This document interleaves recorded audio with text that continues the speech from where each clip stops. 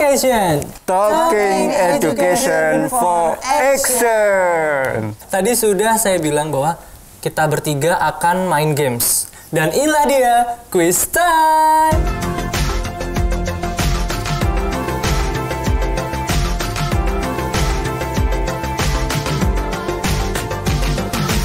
Oke, Prof dan juga Ibu. Jadi nanti saya akan berikan satu game. Ini peraturannya seperti ini. Nanti akan ada lima statement yang akan saya berikan. Pernyataan 1, 2, 3, 4, 5. Nanti Prof akan menjawab uh, statement tersebut sesuai ini nih. Bisa Prof pegang dulu. Uh. Bisa.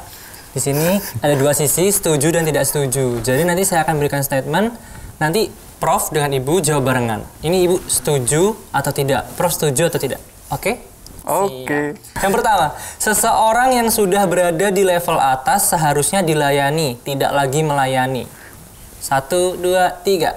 Tidak setuju karena memang harusnya setiap orang harus melayani. Melayani. Balik lagi empat poin itu ya, Prof. ya. Oke, lanjut kedua.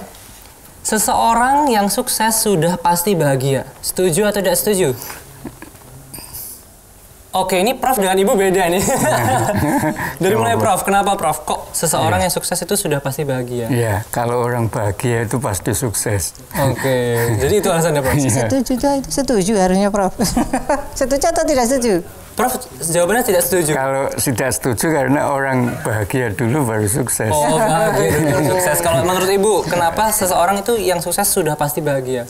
Orang yang tadi sebenarnya bahagia dulu sebenarnya betul Oke. ya. Jadi orang sukses dan gini, penelitian terakhir sukses dan bahagia itu nggak bisa dipisah. Oke. Jadi orang bahagia dia pasti sukses. Orang bahagia pasti sukses. Berarti Oke. tadi eh, Ibu tidak setuju ya, sukses itu sudah pasti bahagia. Sukses itu pasti bahagia. Berarti itu pertanyaan tadi ya. Iya, harusnya kan bahagia sebentar. dulu. Iya. Kalau orang bahagia pasti sukses. Oke, berarti poinnya adalah kalau bahagia pasti, Pasti sukses. sukses. Oke, lanjut yang ketiga. Sekolah itu menjadi penentu kesuksesan. Setuju atau tidak setuju? Tidak setuju ya, betul ya. Apa Oke. namanya, Prof? Ini Iya. kalau orang sukses mah sebetulnya nggak bukan men- bukan sekolah menjadi penentu ya, karena Iya. Iya, pengembangan diri pribadi Iya, itu lebih penting diri. daripada sekedar daripada sekolah. sekedar sekolah. Lanjut, Prof. Di balik kesuksesan seorang pria, ada seorang wanita yang hebat di belakangnya. Ini setuju atau tidak setuju? setuju. Tidak setuju. Prof setuju. Bu Anissa kenapa Bu tidak setuju? Sa- Saya merasa belum jadi wanita yang seperti yang ditulis tadi. Oh, ya, tapi menurut Prof, Ibu sudah menjadi seorang wanita yang hebat, Bu. Tepuk tangan Bu buat buat Prof. Lanjut satu saya lagi, Bu. Oh, masih Satu lagi. Mental block Iya. menjadi salah satu penghambat kesuksesan anak-anak muda. Eh, iya setuju. Setuju kenapa ini? Eh jelas itu ya kalau di saya mungkin belajar kalau belajar NLP ya mungkin ya dari kemarin saya memberikan PSU anak-anak online itu berbasis NLP. Jadi kalau saya berdoa, saya mau minta sesuatu, saya berharap sesuatu, kemudian saya cancel sendiri, ya saya misalnya gini, Tuhan saya kepengen lulus, lulus ya. Anda ya misalnya Deo pengen apa sih? Deo kamu pengen apa gitu? Aku pengen ini Bu, lulusnya dengan IPK yang maksimal Ya, dan berapa? waktu. Cepat, sebut Um, berapa? 38 Bu. 38. Kamu nggak berani harus. empat ya? Ya Tiga- pengen Bu. Ah, Oke, berani nggak kamu mengatakan "Tik, saya lulus dengan IP 4. Setelah itu kamu cancel gini. Ah, ya nggak mungkin. Kayaknya ada yang C deh. Ya Udah gagal. Oke. Itu mental block.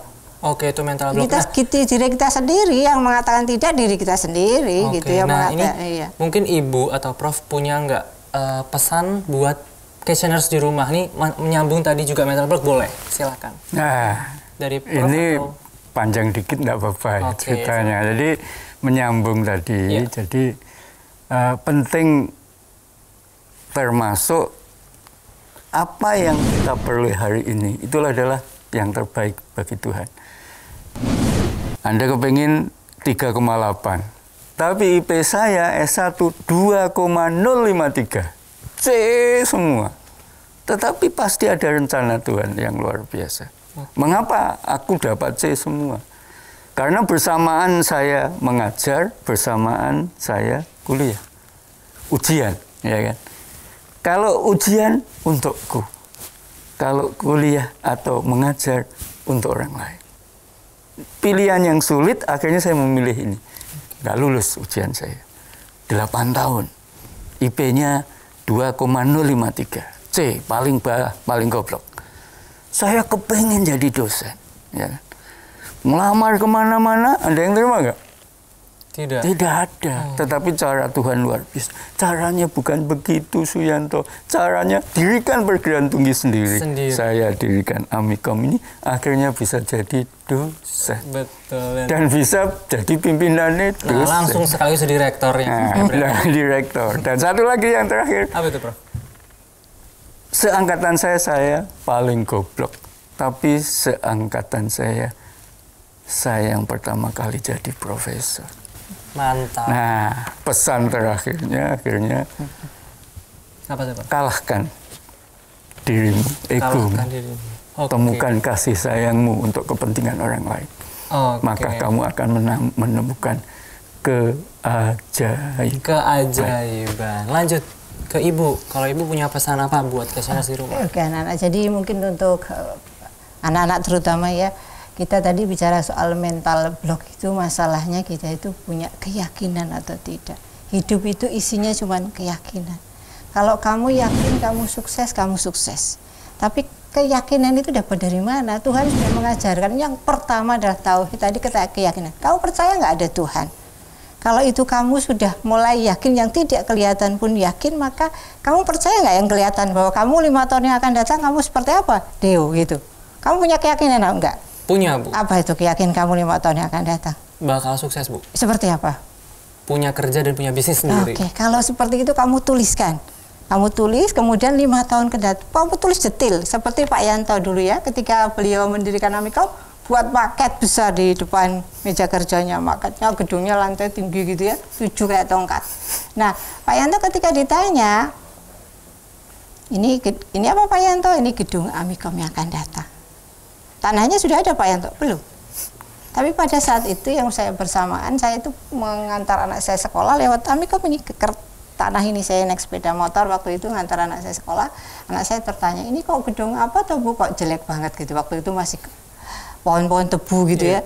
Ada satu gedung di situ yang memang sudah kayak hangus-hangus. Saya bilang, nanti ini jadi Amikom.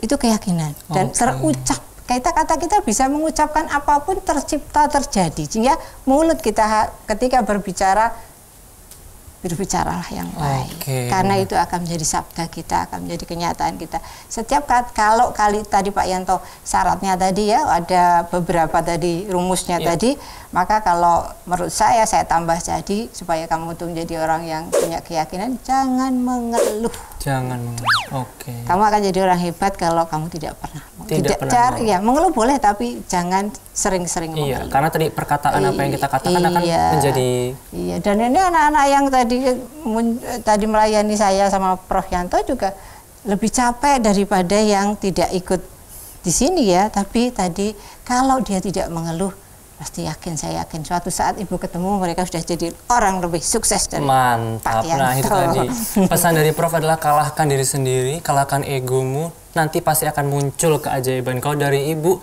harus ada punya keyakinan. Keyakinan. Berkatalah baik, maka sesuatu akan terjadi sesuai dengan perkataanmu. Iya. Nah, itu tadi pesan dari Prof dan Ibu Anissa. Terima kasih buat questioners di rumah yang sudah nontonin questioners dari tadi setia banget. Terima kasih juga kepada Prof, Bu Anissa sudah bisa berbagi ceritanya, berbagi perspektifnya mengenai tema pada hari ini. So, saksikan terus Talkation karena di Talkation akan, akan akan ada banyak topik pembahasan yang menarik bersama dengan narasumber yang berkompeten di bedaknya. Saksikan Talkation Talking Education for Action.